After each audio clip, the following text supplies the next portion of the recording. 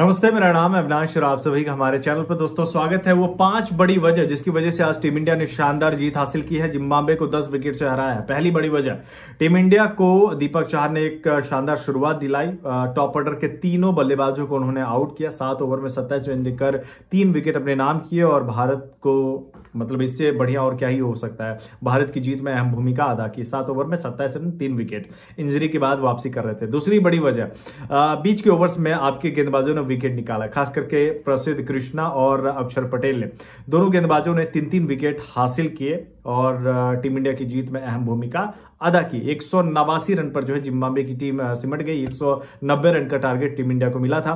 तीसरी बड़ी वजह, कप्तानी बहुत अच्छी रही। के राहुल से अक्सर उनकी का, कप्तानी की आलोचना होती है, लेकिन जिस तरीके से उन्होंने गेंदबाज को आज रोटेट किया, वो कमाल था देखना। और धीरे धीरे वो मैच्योरिटी आएगी उनकी कप्तानी में। लोग भले ही उनकी आलोचना करते हुए आईपीएल की कप्तानी देख के या फिर टीम इंडिया के लिए भी इस साल जब उन्होंने साउथ अफ्रीका में कप्तानी की थी तो जीत हासिल नहीं हुई थी। लेकिन वो एक अलग मसला हो जाता है। आज मैच्योरिटी देखिए उनकी कप्तानी में। और चौथी बड़ी वजह फील्डिंग शानदार रही है आज। टीम इंडिया ने अच्छा प्रदर्शन किया और युवा फौज है तो ज़ाहिर तौर पे है कि मिस्टेक्स कम ही हुई है कम ही हुई है और आपने ज़्यादा चांसेस नहीं दिए जिम्बाब्वे के आ, कम अनुभवी खिलाड़ियों को। पांचवी बड़ी वजह आपके ओपनर्स ने कमाल का प्रदर्शन किया आज खास करके शिखर धवन और शुभमन गिल ने। दोनों ने एटीज प्लस रन बनाए।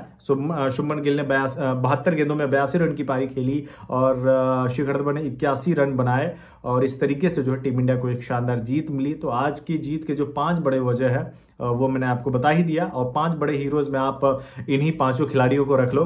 दीपक चाहर शिखर धवन, शुभमन गिल, अक्षर पटेल और आपके प्रसिद्ध कृष्णा। अगर आपको ये वीडियो पसंद आया तो हमारे चैनल को लाइक, शेयर, सब्सक्राइब बिल्कुल कर लीजिएगा। धन्यवाद।